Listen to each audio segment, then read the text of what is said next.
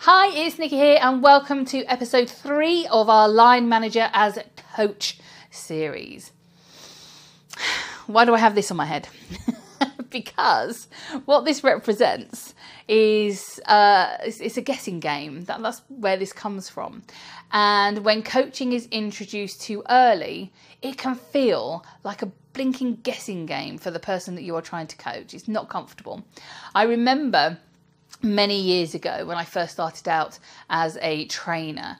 A uh, senior line manager came and observed me do some training, and at the end of it, he wanted to use his coaching techniques in order to help me to develop the session and you know where where did it go well, where could it have gone better, all those kind of things. The trouble was I didn't have enough um, experience, expertise, or knowledge of training in order to answer those. So I just felt like I was guessing.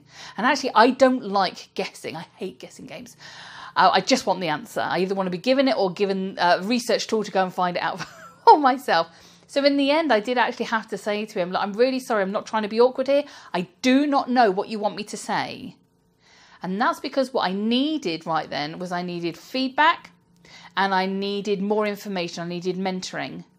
And if you haven't seen episodes one and two, you need to go back and watch those before you come back to this one because that's exactly what we talk about is the setup to doing line manager as coaching successfully. You need to have those in place. Only then can you actually start asking coaching questions. Now, the way that I would approach this is in a two phased element. Phase one is start to introduce your coaching questions at the end of conversations where you've already done your feedback, your mentoring, or you feel as though that person knows the topic well. Um, just start to add in questions that I'm calling them coaching questions, but actually, it's not even coaching questions. We're not talking about full on coaching techniques here and those who are really interested in, in coaching and know all about clean language and you know looped links and, and all that kind of stuff are probably going to turn in their graves when I said that. But actually, coaching for line managers is about asking questions in the right place at the right time. So for me, phase one is very much at the end of a conversation, just start to ask some more probing questions. So, what haven't we thought of yet? Um, what challenges do you think we're going to come across? Where do you think this could head towards? Obviously, wait for your answers. Don't just reel them off like I'm doing.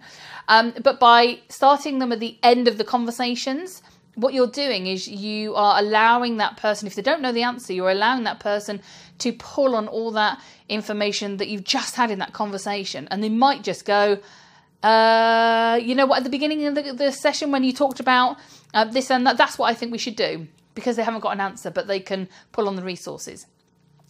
The more you do that, the more they will be ready for those particular questions and the more they will think about them. Once you've established that, you then go to phase two, which is actually you bring those coaching questions to the start. So before you've even started to discuss something. So let's say there's a problem with a project. Remember, we had widget problems in episode two. Let's say you've still got those widget problems. So rather than sitting down and trying to go through everything and then asking your coaching questions, start off. So, Sally, I think we had before, um, simple questions. So, Sally, tell me where we are with this. Okay, what is it that we need to do? Where are our challenges? What do you think we can um, achieve by doing it this way or that way? Just use lots of appropriate questions for them. And if they get stuck, go into mentoring, give them uh, a direct answer if they need to, offer feedback, whatever it is. So it, now you're starting to get an amalgamation of everything. It's really simple when you look at it like that. You don't need a coaching qualification to be a line manager as a coach. You just need to really understand what questions to use and when to where and when to use them. So in episode four, what we're going to do is we're going to start to look at the building blocks to this. Um, and I've been talking about it all the way through, and I'm just going to pull it all together so that we don't have any random question marks left in our little uh, thought bubbles at the end. So join me on that one. If you haven't already subscribed to the YouTube channel, please do because then you'll get notifications uh, whenever we have new videos around. And also, if you want to um, connect with me on LinkedIn or send me an email via nikki.forster at curiouslighthouse.co.uk, you are more than welcome to. This is what I do with my not this. This isn't what I do. Um, but, but, talking about this stuff is, is what I do on a day to day basis. So feel free to, to get in touch. And I will see you in episode four where we start to pull it all together.